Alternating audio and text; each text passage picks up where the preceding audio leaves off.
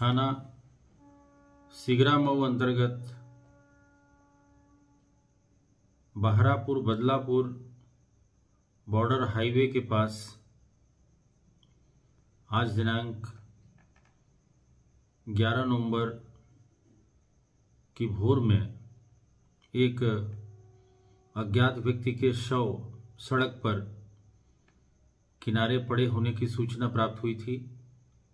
Police ने तत्काल इस सूचना पर मौके पर पहुंचकर उस डेड बॉडी की शिनाख्त का प्रयास किया, जिसकी शिनाख्त कुछ ही देर बाद विभास वर्मा पुत्र, स्वर्गीय विजय वर्मा निवासी उर्दू बाज़ार थाना कोतवाली के रूप में हुई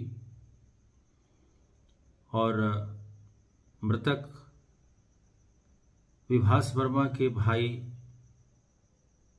के द्वारा इस संदर्भ में एक लिखित तहरीर दी गई, जिसमें यह अंकित किया गया कि उसका भाई को कहीं अन्यत्र से उसकी हत्या करके और उसकी डेड बॉडी को वहाँ डाल दिया गया है। मृत्यु का कारण जानने के लिए पंचायतनामा और पोस्टमार्टम की कार्रवाई कराई गई। पोस्टमार्टम से मृतक विभास वर्मा के हेड में फायर इंजरी पाई गई।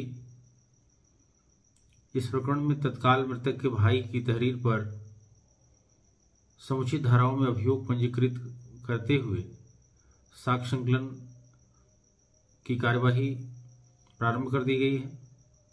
गहराई से इसकी विवेचना की जा रही है और साक्ष्यों के आधार पर शीघ्र ही इस प्रकरण का सफल अनावरण करते हुए दोषियों के विरुद्ध